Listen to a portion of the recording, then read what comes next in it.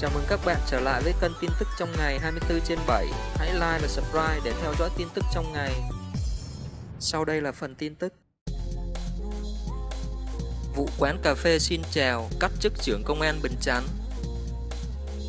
Đại tá Nguyễn Văn Quý, trưởng công an huyện Bình Chánh, thành phố Hồ Chí Minh chính thức bị cắt chức vào chiều ngày 23 tháng 8 Nguồn tin của phóng viên cho hay, chiều ngày 23 tháng 8, Công an thành phố Hồ Chí Minh đã có cuộc họp kín nhằm triển khai quyết định kỷ luật đối với những cán bộ có sai phạm trong vụ khởi tố, truy tố đối với ông Nguyễn Văn Tấn, chủ quán cà phê Xin Chào. Theo đó, Công an thành phố Hồ Chí Minh công bố quyết định kỷ luật với hình thức cắt chức trưởng công an huyện Bình Chánh đối với đại tá Nguyễn Văn Quý. Quyết định này do Tổng cục trưởng Tổng cục Chính trị Bộ Công an ký Đồng thời, Công an thành phố Hồ Chí Minh cũng công bố quyết định kỷ luật đối với hai đội phó đội cảnh sát điều tra tội phạm về trật tự quản lý về kinh tế và chức vụ Công an huyện Bình Chánh vì có liên quan đến vụ quán cà phê Xin Chào.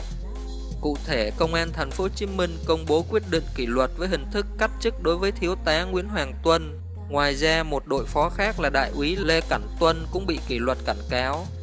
Ba cán bộ công an trên được xác định là có nhiều sai phạm, vi phạm trong quá trình tố tụng đối với ông Tấn, cáo buộc ông này phạm tội kinh doanh trái phép. Năm cán bộ công an khác thuộc công an huyện Bình Chánh cũng chịu hình thức khiển trách vì ít nhiều có liên quan đến vụ việc.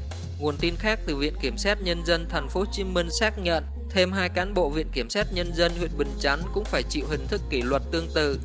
Cụ thể, ông Lê Thanh Tòng, Phó Viện trưởng Viện Kiểm sát Nhân dân quận 6, nguyên Phó Viện trưởng Viện Kiểm sát huyện Bình Chánh bị kỷ luật điều động về một phòng nghiệp vụ của Viện Kiểm sát Nhân dân Thành phố Hồ Chí Minh.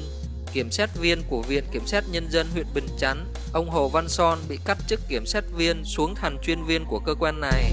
Cảm ơn tất cả các bạn đã theo dõi.